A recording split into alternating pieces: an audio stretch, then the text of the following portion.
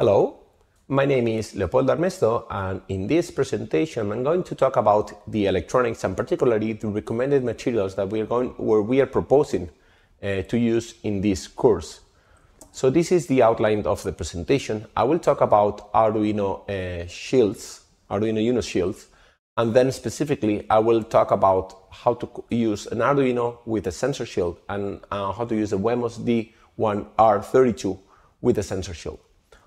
Then I will introduce the electronic components that we propose for this uh, course and some of the uh, connection tables where to connect things in order to properly uh, uh operate. So as you already might know, uh, Arduino, particularly Arduino Uno, uh, has a specific, let's say, shape that has become somehow an, as a standard for many other electronics and boards.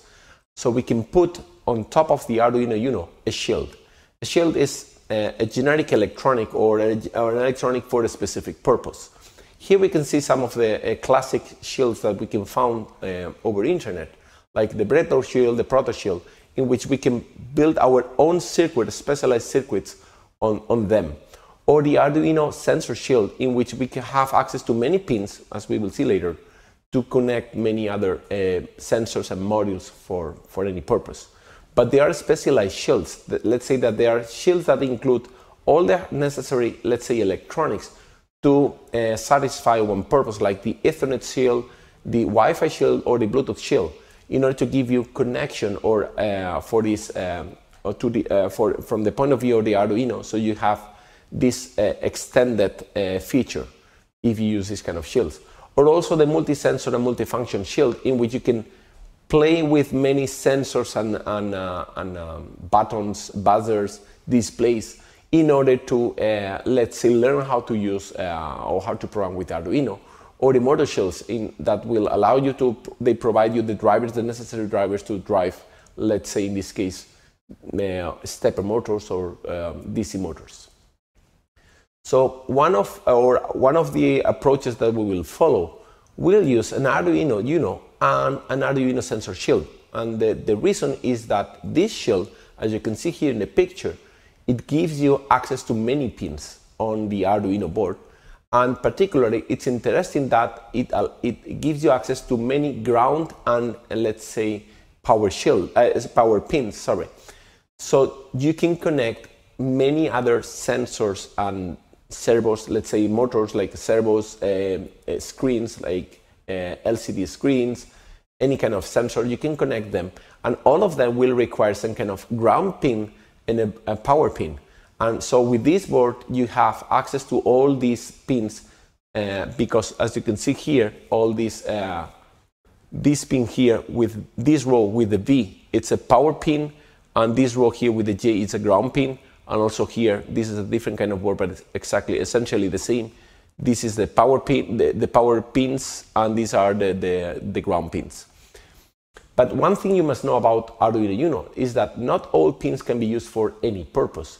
You can see here in the table that uh, all pins can be used as digital input and output signals, uh, but only specific pins, the, the ones that are named as A, from A0 to A5, can be used as analog inputs.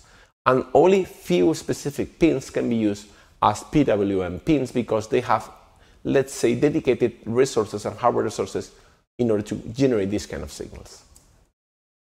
Another approach would be to use an ESP32 board. In particular, I would like to uh, highlight the Wemos D1R32 and their compatible versions and similar versions to this board that, let's say, uh, has the same Arduino Uno format, and that's why we can use, on top of it, we can use an Arduino sensor shield. The only inconvenience of this, or there are too many inconveniences uh, by using this approach, but we can, um, they can be overcome, and, uh, and of course, they uh, give you much more, let's say, power for um, uh, computational resources. They, they give you Wi-Fi connection, as we saw in the previous presentation. So the first inconvenience is that the ESP32 has, let's say, its, no, its own pin names, as you can see here on the first column of the table. And when you put the Arduino sensor shield on top of it, since this sensor shield was designed to, in order to work with the Arduino, they use, or you, you, you see a different name on top. So when you connect, let's say, to on the Arduino sensor shield, then you use the Arduino naming pins and compared to the ESP32 pins. The advantage is that uh, in this case, all pins can be used as a digital and input signals, no problem with that. All pins can be used as, PWM signals and some pins can be used as analog signals, but we have much more pins compared to the Arduino Uno. And particularly, it's important to highlight or to mention that uh, if you use pins uh, as analog signals, I mean, uh, when the Bluetooth and the Wi-Fi it's enabled, you should use only the ones that are uh, belonging to the ADC1 that I put here, because uh, otherwise the others uh, you cannot use them if you if this um, the, the, the Wi-Fi antenna is enabled. But there's a trick. You can always disconnect the Wi-Fi antenna, read the analog signal and reconnect it. And since this is very fast, you won't notice any kind of disconnection on your on your software. And we, we use that trick in, uh, in many in many ways. So uh, this is uh, these are the sensors that we propose for our intelligent house. Uh, let me recap um, uh, what they are. So as analog sensors, we use four of them. Uh, one for measuring the temperature, which is an, a thermistor, it's an NTC sensor. We also use for uh, measuring the light of the environment, we use a photoresistor, which is, is known as LDR. we also use a gas sensor in order to detect the smoke. And also we use a sound sensor that uses a mic in order to uh, measure, let's say, the, the noise uh, on the ambient. Also, we use two digital sensors, one which is a flame sensor to detect fire, and another one which is uh, called um, PIR sensor. It's an infrared sensor that detects the presence of, of, of movement of, a, of an object. And these are the six sensors that we, we propose to use in our project. Apart from the sensors, we also want to use actuators. These are, uh, let's say, devices that we want to control from the point of view of the Arduino uh, or the microcontroller. Like in this case, a passive buzzer that will generate frequency and we can generate some sounds like an alarm effect.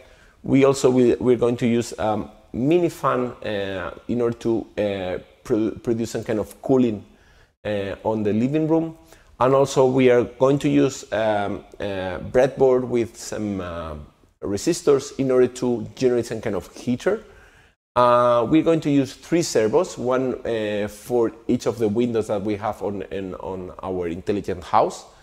And also we're going to use um, our RGB LED strip that's in order to provide uh, lighting to our, um, in this case is the bedroom and also uh, a screen in order to display data on the living room.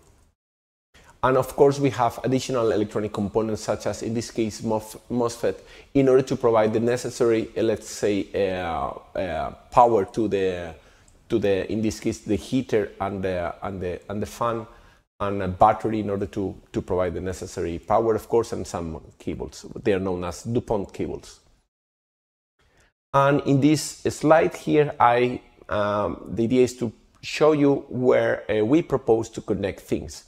Since we are trying to make things compatible with uh, the Arduino Uno and the ESP32, in this proposal, or in this connection proposal, we have taken into account that some pins were connected to the ADC1 of the ESP32, so we can skip the problem with the Wi-Fi uh, connection that I mentioned before.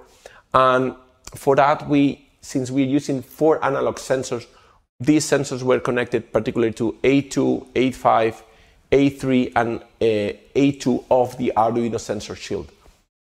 And also, we have connected the, the, uh, the devices that require PWM uh, uh, signals, such as the heater and the fan, in which we can regulate, let's say, the amount of heat or the amount, or the, the let's say, the, the the, the, the power of, of the, the mini fan, how, how fast it rotates. These are specialized signals that uh, have been connected to D3 and D7, so they are compatible with the Arduino pins. And the rest of the signals in general could be connected anywhere, but also, sorry, the buzzer, the buzzer also requires a PWM signal, but the rest of the signals are digital uh, input or outputs and could be connected anywhere in, indeed, okay? Well, in this presentation, uh, we have been talking about the recommended materials. Thank you very much.